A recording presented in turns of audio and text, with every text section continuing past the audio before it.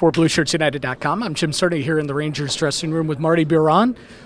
One start, one win. Pretty sweet the other night in uh, Tampa and got to rock the Broadway hat as well. Yeah, that was uh, pretty cool. Um, you know, to be able to go in Tampa and it was fun. My parents were in town, like they're uh, a couple hours down south for the winter, so they got to, they got to come up and see the game, which was uh, was great. They hadn't seen me playing uh, probably a year, so it was uh, it was a lot of fun. You know, and just to have that challenge a little bit against that team, the, the way they were scoring at home, the way they were playing, and be able to uh, to respond uh, personally and as a team was uh, was something that was uh, pretty special. Well, not that you haven't played in between, but 10 months between starts. I, I know you probably didn't count the days and count the months like we have the time to do, but 10 months between starts, like uh, riding the bike and getting right back out there? Uh, yeah, it was like I said earlier, it was like the old uh, the duck analogy where everything looks calm on the surface, but there's a lot going underneath the water. Uh, um, you know, I was uh, was a little uh, antsy, a little jittery in the first period, but uh, we got out of that period 0-0. So that helped to settle down the nerves a little bit, regroup after the first, and then uh, get back to work in the second. Um, you know, discipline we talked about it was big, but um, it wasn't my first time not playing for that long. You know, obviously with the injury. A couple years back, that was in, you know, late February. I think my first start after that was like October at right. some point. Uh, you know, the last lockout was even worse than that because that was a year and a half of nothing. So uh, um, you kind of do what you got to do and get the preparation, and that's uh, that's how it works. It's interesting that you use the, the, the, adjectives antsy and jittery and all that because to a man, the guys in this room and, and your coach all say one of the great things about Marty is he's so calm out there. He, he projects this, you know, just calmness in net and settles the team down and everything. So I guess it's as you said, it's it's underneath the surface. Some people might say it's old age or uh, being slow, uh, but other people will use calm. So I, I like that a lot better. Uh, but that's that always kind of was my game to uh, uh, try to slow things down and uh, try to make everything feel and look easy and. Um, there's a lot of work that goes into it b- between the passes and getting into position, but whenever you make the, the shots and the saves look easy and they hit you in the stomach and you cover in the rebound, there's no extra uh, second or third opportunity. That's that's how my game is built, and that's uh, that's what I'm trying to do. So that's good.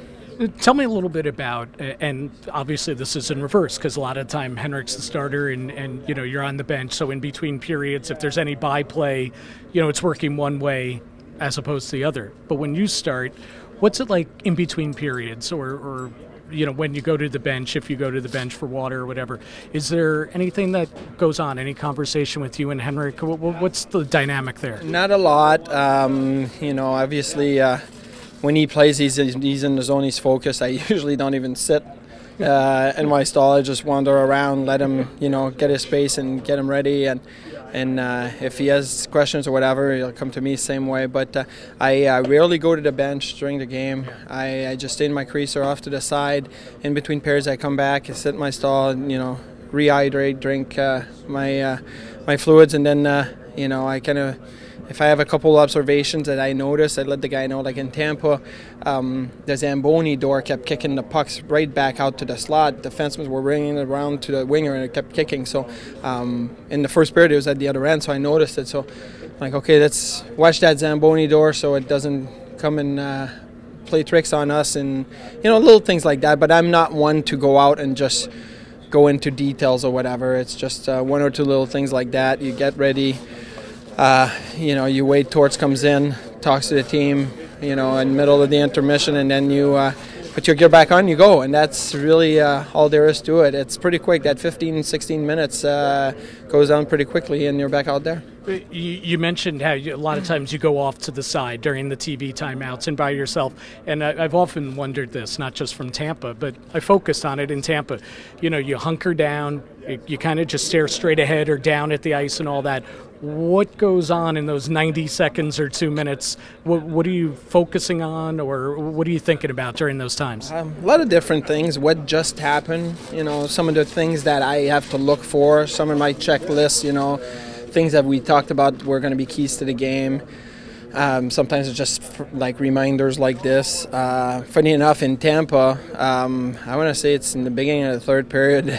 The shovel, the shoveling guy came behind me and hit me in the skate, and he's like, "Oh, sorry," and he's did the double circle around me and went back again, and uh, which was kind of funny, but it doesn't really. Uh, it's not going to affect you, or it's not if you uh, if you stay loose, but at the same time focus at, at what you have to do, and uh, so that's what I try to do. Obviously, sometimes it's harder than others, and you have to work harder at, at it some sometimes. But uh, in Tampa Bay, it, it was pretty good.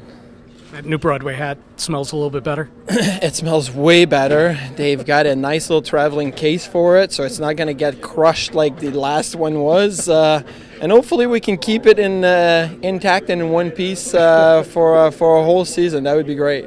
61 times that one got passed around last year. 51 regular season, 10 in the postseason. That was pretty good. That was really good. It traveled from overseas back over here, uh, East Coast, West Coast. This one won't have as much travel, but uh, uh, hopefully we can uh, we can get him get the Broadway hat around. Uh, probably not going to be 61 times, but who knows? We're trying to get as much as we can. Sounds good. Marty Biron, big win on Saturday. Thanks for a few minutes. Hey, thank you, Jim.